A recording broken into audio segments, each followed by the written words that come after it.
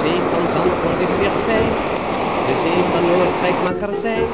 De zee is net elf blauw. In Wakerzee, daar bruist die zaal. Maar geen zee is zo die als onze Scheveningse zee.